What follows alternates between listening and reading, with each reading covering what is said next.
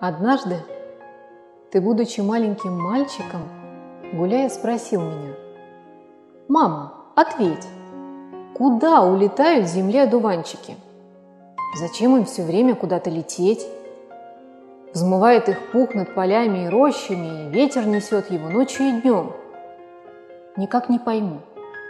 Неужели не проще им всегда оставаться на месте одном –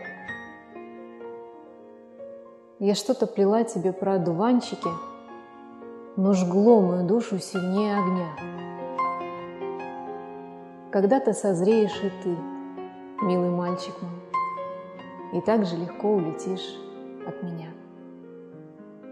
А я посидею, как пух над дорогой, как эти цветы у холма на краю. И глянув на них и печально, и строго я Вдруг жала покрепче ладошку твою.